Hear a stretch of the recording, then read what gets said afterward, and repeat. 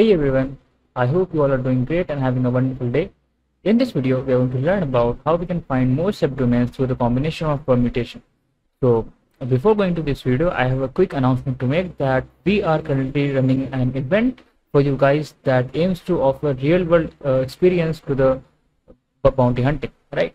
So you can join us out. We have only 20 seats available out of 50 and the last date of registration is 25 April you can just click on this video to see how you can register yourself. And for the participants we are offering two courses that are worth up to $100 and a participant certificate. And for the winners we have a paid internship opportunity that can go up to 20k depending on your skills. We have try hack me vouchers. We have two courses worth $100 each and a certificate of participant. So these are the things that we are offering to the winners as well as for the participants. Yeah. So if you are interested, then definitely go ahead and check this event out. We are putting this link in the description. And now with that being said, let's get started. So the very first thing that we need to do over here is we need to download a tool which is known as Gotator, right? So you can just open a new tab over here and just type Tetter and then GitHub. After that, hit enter and as you can see, this is the very first thing that you need to click on. So i have already created a video on how we can find subdomains using AltDNS which is also works on the permutation right? So what is the difference between that tool and this tool? So here you can check it out. So this tool has a lot more functionalities compared to the alt dns and this is a fairly new tool. As you can see it's been only uh, two years right? And if you check over here we have a lot of things over here. You can specify the depth. We can specify the mindup to uh, reduce duplicates. We can use the advanced flag right? We can use so many things. We can also swap the domain. So it has a lot of options. It's fairly uh, faster than the previous version which is the alt dns right? So let's see how we can use this tool. First thing is to just copy this and just clone this in our machine. So we can just clone it by typing git clone and just paste it out over here just like this and hit enter. And now this will get cloned. Again it depends on your internet connection that how much time it's going to take to clone it out right? Once it is get cloned what you need to do is you need to install go language right? So how you can install it? Just type sudo apt install golang minus 5 right? And this will install golang in your machine. As you can see in my case golang is already the newest version but in your case it is going to take some time depending on your internet connection. Now once we have that we want to clear this out and then we can go to the gotator directory just like this and over here we need to build this particular file right? So to build this we need to specify this command go build main.go uh sorry so the file name is data right? So we need to specify data instead of main data.go and this will build this file as you can see. The file has been built over here and now we need to move this file to the bin directory. Why bin directory? Because we want to access this file from anywhere in the terminal right? So this is the reason why we are going to move this. So let's move this sudo move gotator to bin right? Here we are.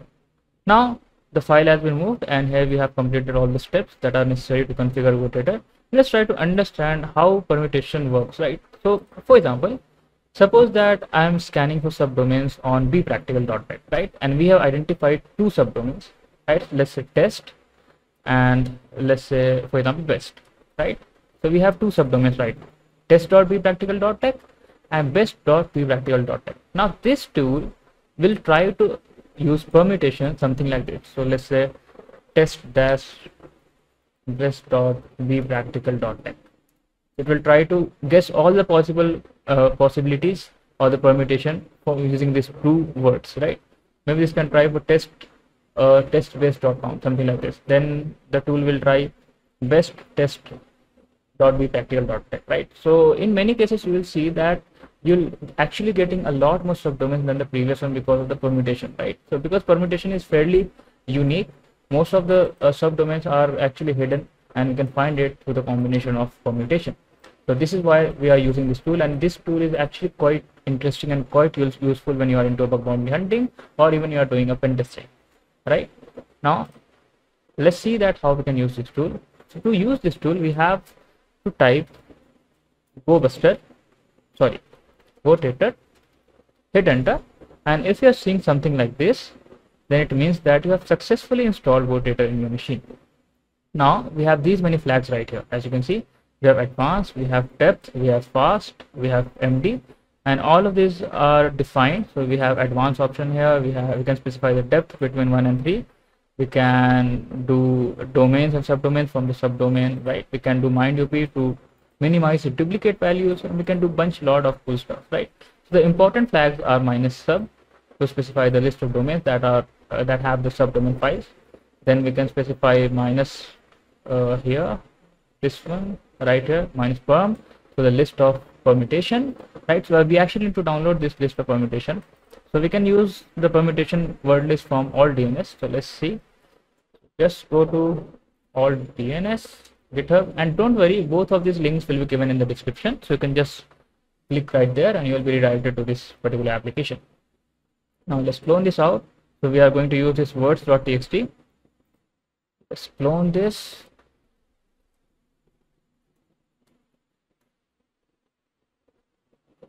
and now let's here it is here is the words file that we're going to use. And now we are good to go. Now let's see how we can use this tool. So uh, before using this tool let's try to see how we can find subdomains using the traditional way which is using a, a uh, either Amass or Sublist3r or subfinder. I'm going to go with subfinder. Just type subfinder minus t bpractical.tech we're going to use subfinder on bpractical.tech to see whether it detects any subdomains or not. Then minus v. Let's see. Let's wait for a few seconds and let's see what happens after that.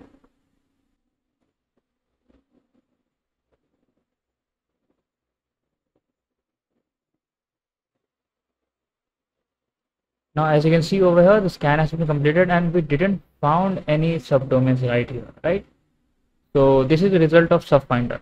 Now please note that i'm not using any premium api or any kind of api from the using uh, the default configuration of subfinder so as you can see we didn't have any subdomains right now.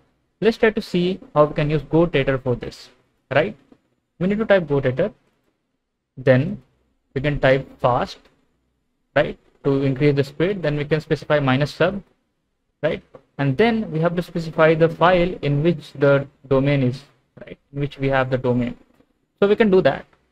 So let me do it clear this out. Let me create a new file. Let's say touch domain.txt and let's add the domain name over here be practical.tech right? And now let's uh, over here let's try to run gotator again. After fast subdomain.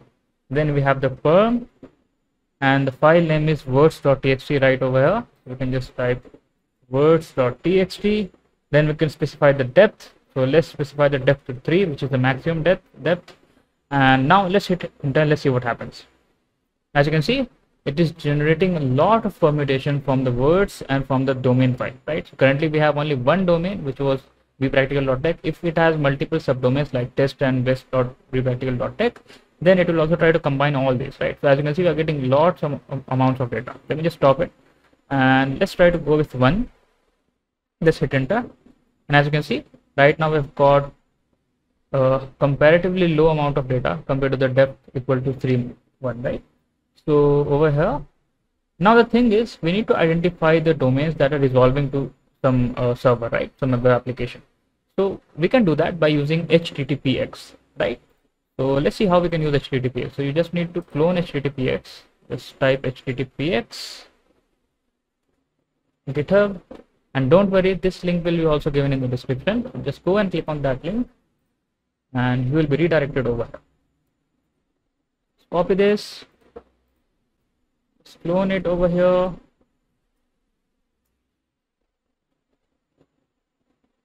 And then let's go to httpx go to command httpx again and let's build this file. Again it is going to take some time depending on your internet connection. And now as you can see the file has been successfully uh, compiled. Now we can move this file. So just type sudo move httpx to bin right? Now we are good to go. Now let's see that how we can use the gotator along with httpx to get the valid results. So move out. So this was the command that we were using.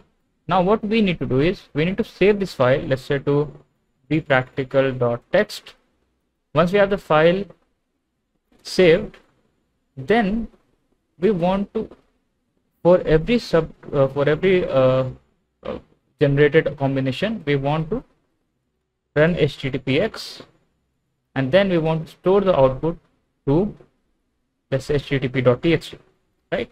So this is all we need to do in order to find the valid subdomains out of the generated permutated subdomains right? Let's hit enter. Let's wait for a few seconds. As you can see we got bpractical.tech obviously. Just wait. As you can see we've got cdn.bpractical.tech which was not there at the time right? We've got a new subdomain over here. Just wait for a few seconds.